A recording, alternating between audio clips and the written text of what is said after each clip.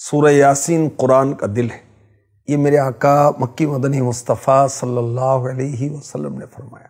फरमाया सूर यासीन कुरान का दिल है जो इसे अल्लाह पाक की रज़ा और आखिरत की बेहतरी के लिए पड़ेगा उसकी मगफिरत कर दी जाएगी। मेरे नबी सल्लल्लाहु अलैहि वसल्लम ने इरशाद फरमाया, बेशक हर चीज़ का एक दिल है। कुरान का दिल सुर यासिन है। जो एक मरतबा सूर यासिन पढ़ेगा, उसके लिए दस मरतबा टेन टाइम कुरान पढ़ने का सवाब लिखा जाएगा। आखिरी नबी मक्की मदनी सल्लल्लाहु अलैहि वसल्लम ने फरमाया, तौरात में सूर्य यासिन का नाम मुइम्मा है, क्योंकि सूर्य यासीन अपनी तिलावत करने वाले को दुनिया और आखिरत की हर भलाई अता करती है, और दुनिया आखिरत की बलाएँ उससे दूर करती है। और दुनिया आखरत की हौल नाकी से नजात बख्शती है। सूर्य यासिन का नाम मुदाफ़ियातुल्क़ौदिया भी है। क्योंकि यासीन शरीफ अपनी तिलावत करने वाले से हर बुराई को दूर कर देती है और उसकी हर हाजत पूरी करती जी हाँ हर हाजत। जिस शख्स ने यासीन शरीफ की तिलावत की, मेरे नबी सल्लल्लाहु अलैहि वसल्लम ने फरमाया, ये उसके लिए बीस हज के बराबर है। जिसने सूरह यासिन को लिखा, फिर उसे पिया तो उसके पेट में हज़ार दवाएँ, हज़ार नूर, हज़ार यकीन, हज़ार बरकतें और हज़ार रहमतें दाखिल होंगी। और उससे हर धोखा, हर बीमारी दूर हो जाएगी। नबी पाक सल्लल्लाहु अलैहि वसल्लम ने फरमाया, मेरी ख्वाहिश है कि सूरह यासिन मेरी उम्मत के हर इंसान के दिल में हो। काश हम सूरह यासिन याद कर लें। इरशाद फरमाया नबी पाक सल्लल्लाहु अलैहि वसल्लम ने जो शख्स हमेशा हर रात यासीन शरीफ की तिलावत करता रहा, फिर मर गया तो वो शहीद मरेगा। इरशाद फरमाया, नबी पाक सल्लल्लाहु अलैहि वसल्लम ने जो शख्स दिन की इब्तिदा में सूर यासीन की तिलावत करेगा, उसकी तमाम हाजात पूरी कर दी जाएँगी। हज़रत इबन अब्बास रदी अल्लाह फरमाते हैं, जो शख्स सुबह के वक्त सूर्य यासीन की तिलावत करे, उस दिन की आसानी उसे शाम तक अता की जाएगी। और जिस शख्स ने रात की इब्तदा में सूर्य यासीन की तिलावत की उससे सुबह तक रात की आसानी दी गई।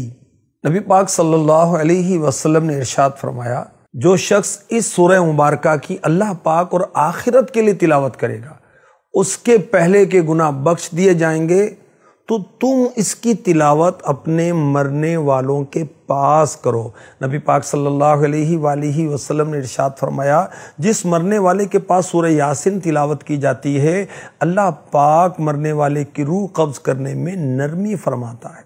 हज़रत सैन अबू खिलाबा रदी अल्लाह से रिवायत है, फरमाते हैं, जिसने सूरह यासिन की तिलावत की, उसकी मगफरत हो जाएगी।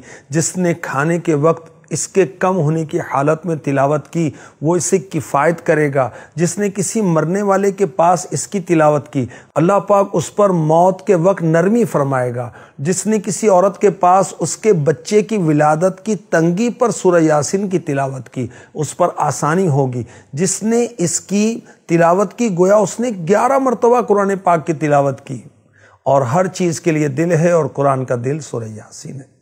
हज़रत सैना अबू जाफ़र मोहम्मद बिन अली रदी अल्लाह फरमाते हैं, जो शख्स अपने दिल में सख्ती पाए, वो एक प्याले में ज़ाफ़रान से यासीन वलक़ुरान हकीम लिखे फिर उसे पी जाए। उसका दिल नरम हो जाएगा इन करीम।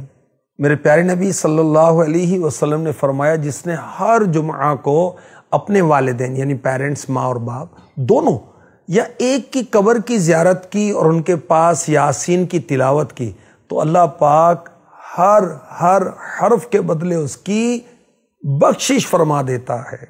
नबी पाक सल्लल्लाहु अलैहि वसल्लम ने फरमाया, जिसने शब जुमा जुमेरात और जुम्मे की दरमियानी रात सूर यासिन की तिलावत की उसकी मगफिरत कर दी जाएगी। नबी पाक सल्लल्लाहु अलैहि वसल्लम ने इरशाद फरमाया, कुरान करीम में एक सूरत है जिसे अल्लाह पाक के यहाँ अजीम कहा जाता है। इसके पढ़ने वाले को अल्लाह ताला के यहाँ शरीफ कहा जाता है। इसको पढ़ने वाला क़्यामत के दिन रबिया और मुज़र कबाइल से जायद अफराद की शफात करेगा, वो सूर्य यासीन है। सूर्य यासीन की बरकतों के क्या कहने भूखा आदमी सूर्य यासीन पढ़े, आसूदा किया जाएगा। प्यासा पड़े सैराब किया जाएगा। बेलिबास पड़े उसको लिबास अता होगा।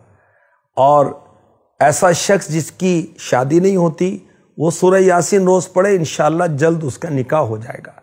बीमार पड़े शिफा पाएगा। कैदी पड़े, रिहा हो जाएगा। मुसाफिर पड़े तो सफ़र में अल्लाह पाक की मदद शामिल हाल होगी। गमगीन पड़ेगा, उसका रंज दूर हो जाएगा। कोई चीज़ गुम जाए, वो सूरह यासिन पढ़े जो खोया है, वो मिल जाए।